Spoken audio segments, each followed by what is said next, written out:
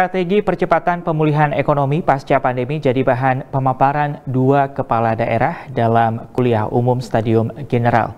Di hadapan ratusan peraja IPDN Jatinangor Kabupaten Sumedang Jawa Barat, mereka memaparkan sejumlah solusi untuk membangkitkan kesejahteraan dalam perekonomian dengan maksud agar seluruh peraja mampu mengemban tugas dengan inovatif, solutif, dan merata.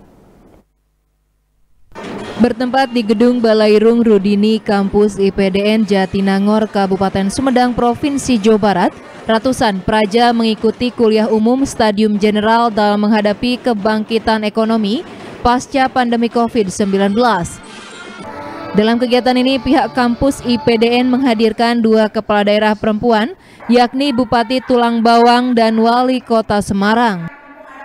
Seperti diketahui pada tahun 2021, pertumbuhan ekonomi di Kabupaten Tulang Bawang sekitar 2,88 persen, sedangkan Kota Semarang pertumbuhan ekonomi menjadi yang tertinggi di Indonesia yakni sebesar 5,16 persen. Pada kegiatan ini strategi pemulihan ekonomi dipaparkan mulai dari pemberdayaan UMKM daerah, program kreatif mandiri bergerak melayani warga yakni program BMB, dan peningkatan iklim investasi. Dan dengan dihadirkan uh, dua sekandi yang luar biasa ini, ini kan raja akan memperoleh masukan, tambahan wawasan, kemudian juga bagaimana dia bisa memberikan suatu semangat dan membuat suatu pemikiran alternatif secara komprehensif, inovatif di dalam menyelesaikan permasalahan yang dihadapi. Karena dua tahun kita menghadapi pandemi dan kita saat ini menghadapi resesi ekonomi dunia yang mana di Indonesia dihadapkan resesi uh, terkait dengan ekonomi dan pangan.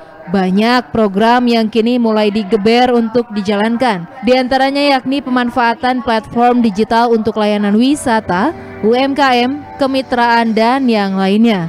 Hari ini saya hadir di sini salah satunya juga memberikan motivasi terhadap raja, tapi ada yang lebih penting dengan kondisi daerah dan seluruh Indonesia masa COVID-19 dan juga inflasi, bagaimana kita tetap semangat memberikan beberapa inovasi di daerah untuk menghadapi kondisi yang cukup uh, sulit hari ini dan ke depan. Tentu ketahanan pangan, ketahanan pangan keluarga adalah salah satu ujung tombak daripada pertahanan pertahanan di daerah dan Indonesia.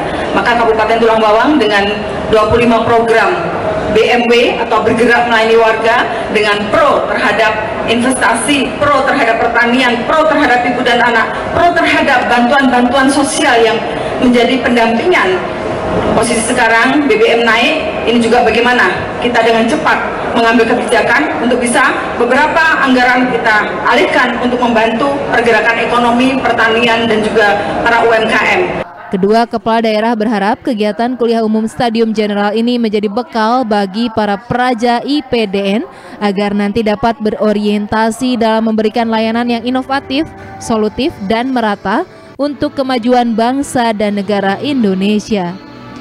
Diki Guntara, Bandung TV